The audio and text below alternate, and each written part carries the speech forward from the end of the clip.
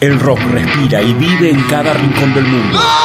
Para saber qué pasó, escucha ahora las noticias de la semana en Arte Infernal Radio. Ah, Rob, ¿vos Me tenés parece. alguna por ahí?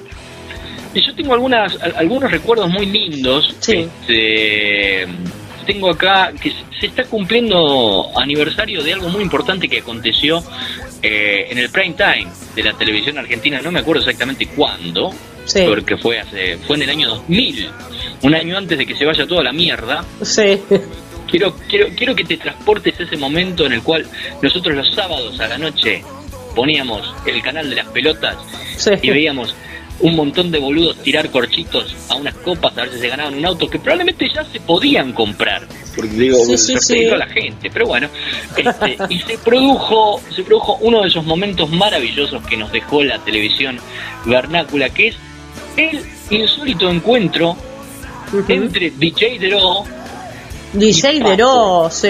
DJ Dero que en este momento está en Ibiza Ajá. manejando un remix este y Papo no sé si se acuerdan en un montado eh, Nico con su simpático pelo cortado lo casquito Sí. le preguntaba a DJ Dro por su carrera súper exitosa en Ibiza qué sé yo y se escuchaban los bufidos de fondo de un micrófono que todavía estaba encendido mientras DJ Dro decía sí porque en Ibiza y qué sé yo y la música electrónica y, y, y con la papa en la boca,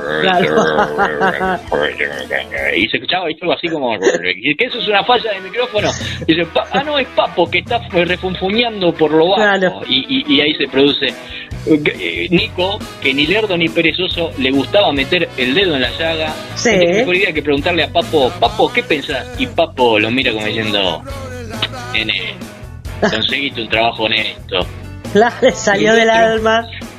Claro, y el otro que tenía una. Un, eh, si, si ustedes recuerdan la fisionomía de Villedro, era eh, la fisionomía de lo que conocemos en el periodismo como gorrito lechoso, pues tenía como un aire al hijo de Mauro Viale, a quien también le dijeron gorrito lechoso. Sí. Y, y medio como quedó bollando, no entendía mucho bien. Y, y- y Papo, este, en ese momento dice: Ahora resulta que uno se pasa la vida estudiando un instrumento, viene otro, enchufa todo y te quiere hacer creer, cree que toca. Vos tocás música. Aparte hago música. Sea, sí, soy- hay temas que son tuyos. Bueno, este tema es tuyo. sí, sí, soy productor y aparte de ¿Por qué los que cuando están dicen que tocan cuando están pasando la Porque música? en realidad estás tocando con discos, en vez de tocar con, en el caso de él, que yo lo respeto, con guitarra o con batería, tocas con discos y Bla, bla, bla. pasan todo, lo haces. Bla, bla, bla. este, Pero ¿cu- ¿cuál es la diferencia? ¿Por qué decís tocar con disco? Porque- un empleo honesto. ¿Cómo decís? No, no entendí eso. ¿Conseguiste un? Pero, Un trabajo honesto. ¿es que el disco es un instrumento? Pregunto. Es un instrumento. De no, hecho, no es un instrumento. Está grabado.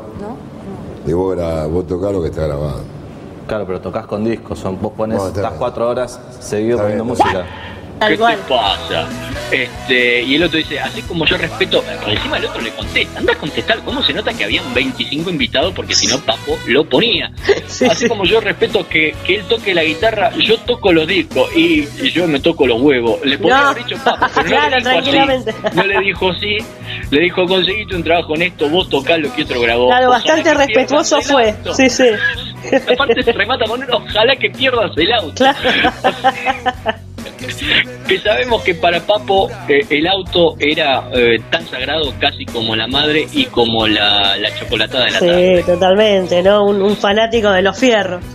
Un fanático de los fierros, no nos olvidemos que se lo podía ver ahí en, eh, en el barrio, ahí de la paternal, a veces arreglando la moto Sí. o el auto. Y bueno, y lamentablemente se cumple eh, aniversario de que falleció, fue esto el Sí, sí, 25 sí. de febrero del 2005, en una tragedia que se llevó al más virtuoso, eh, no sé si más virtuoso, pero el más representativo guitarrista de toda la historia del rock nacional, el tipo que tocó con todos. Sí, con todos, la verdad que un, un, grosso, un grosso, ¿no? Eh, un tipo muy explosivo, un genio imparable.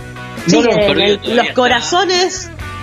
Así que. Está con nosotros todavía el Carpo. eh, son siempre me pregunto yo qué pasaría con el Carpo eh, Sí. hoy, ¿no? Porque digamos que cuando Papo fallece, fallece en un momento muy importante de su carrera porque él venía de una baja, de Sí. un tiempo de, de- de- de como de, ostracismo, donde no pegaba una y lo rescata, yo no sé si sabías esto, Sofi, el Corcho Rodríguez. Sí. El- La, la ex pareja de Susana Jiménez en ese momento, hoy pareja de Verónica Lozano, e intrusos en Arte Infernal, este, lo rescata porque eran muy amigos, porque eran fanáticos de los fierros, yo no